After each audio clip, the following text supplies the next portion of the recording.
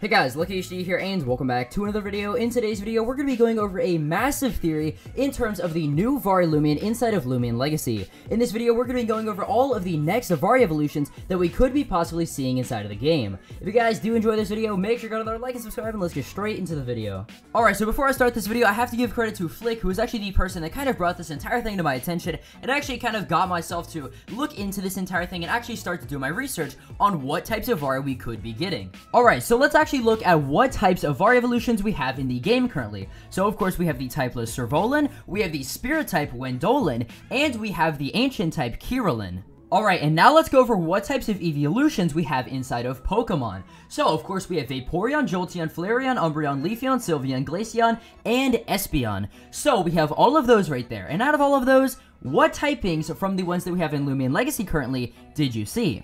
So keep that in your mind because that is going to be one of our main topics for today's theory.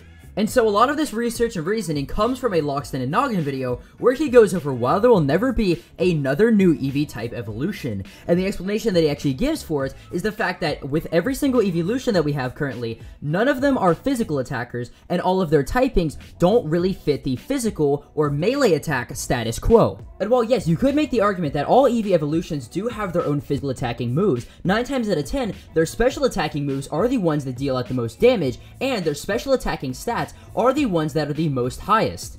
And now you could say that Flareon does have the highest physical attack stat out of any of the evolutions, and I would say that you are correct. But at the same time, back in Generation 1, which was when Flareon was introduced, that was the time when physical and special attack moves didn't really exist. There was no designated kind of thing that, oh, if you had a higher, you know, this stat, then it would affect this move, and if you had a higher this move, then it would affect this move. It was all kind of just pushed into the same category. So of course Flareon would have the highest physical attack stat, but after every single evolution, there have been none that have even come close to breaking the 100 physical attack stat, instead settling for something around 65. Alright, so why do I bring all of this up talking about Pokemon, talking about evolutions, talking about all of this stuff when it's not even Loomian Legacy related? Well, as we know, the Llama Train Studio devs like to actually add stuff to Loomian Legacy that isn't really Pokemon, but more Pokemon inspired. And now if we look at every single thing that I just mentioned, guys, all of the evolutions have an extremely high special attack stat, or an extremely high special defense, or just anything that is but melee attack, okay?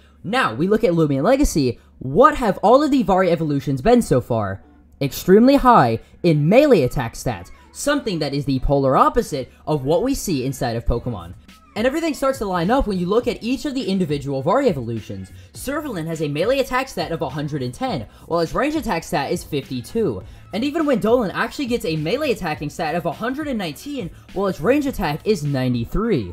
And I think the cherry on top for this entire thing is that Kirillin actually gets a melee attack stat of 137, which is the highest melee attack stat out of any Loomian in Loomian Legacy currently. And even looking at things like Adaptive Assault, Adaptive Assault is literally a melee attacking move, okay? So, I can already start to see a pattern right here that we are going to be getting probably a new melee type Vari evolution every single weekend, and not a ranged attacking one. And of course, with this weekend coming up, if we actually do get another melee attacking Vari evolution, I think that this probably just solidifies the theory that from now on, we're just going to be getting an entire line of melee attacking Loomians.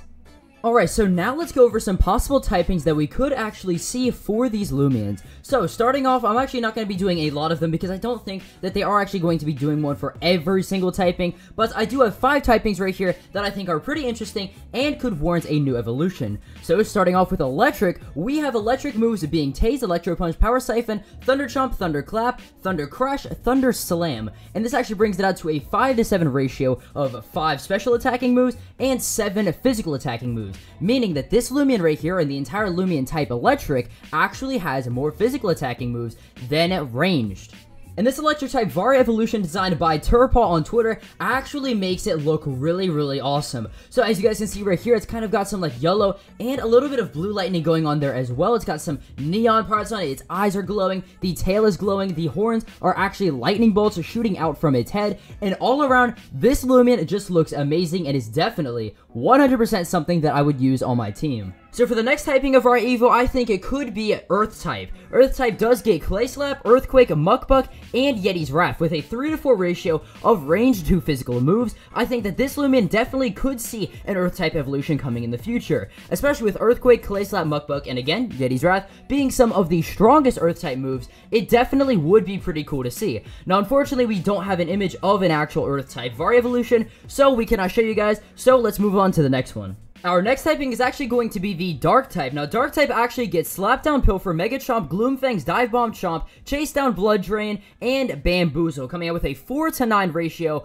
of 4 range attack moves and 9 physical moves, guys. This is definitely something that I could 100% see, okay? The Dark type, actually just kind of idea in general for a deer, would be pretty cool, especially with this design here, again, from Turpaw, basing it off of the Fanged Deer. I think that something like this would be pretty cool to see inside of the game. Of course, it does take the characteristics of the really large fangs, and I just think all around, this Loomian is definitely something I'd like to see in the game. So this is one that is actually going to be pretty unexpected, but it is going to be the Metal type. Now, Metal actually gets Bash Chomp, Complete Demolition, Double Whack, Heavy Bash, Holy Slash, Metal Swipes, Searing Steel, and Steel Crusher, coming out with a 3 to 9 ratio of range to physical type moves.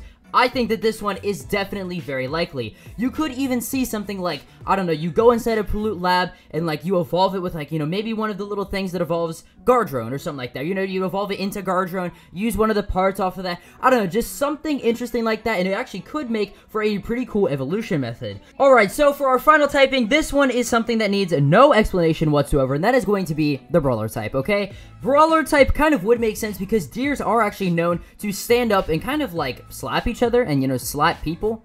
I know, it's a it's a very weird thing, but I'm pretty sure, you know, Llama Studio could actually kind of turn that into somewhat of a, you know, kind of cool idea. But yeah, so those were all of the types that I actually think could be coming to the game in terms of Vari evolutions. Again, my main reasoning for all of these typings is that they are mainly physical attacking types, okay? These are the types right here that actually have the most physical or melee moves behind them. So to sum everything up, guys, all of the Vari evolutions that we are going to be getting inside of Loomian Legacy are going to be physical or melee attackers. Now, I could be wrong with this entire thing, and we could see some ranged attackers actually start to come out, but as it stands currently, I feel like Llama Train Studio actually kind of does want to branch off from the entire evolution thing, with all of the evolutions being special or ranged attackers, and instead, inside of Loomian Legacy, have something similar, but instead of being, again, special or range, it actually would be melee attackers. So yeah, I definitely want to hear your guys' thoughts about this theory down in the comments below. Do you guys think that it is a plausible theory? Me, personally, I think it is actually something that I mean, we kind of have to wait and see because if we are actually going to be getting something this weekend,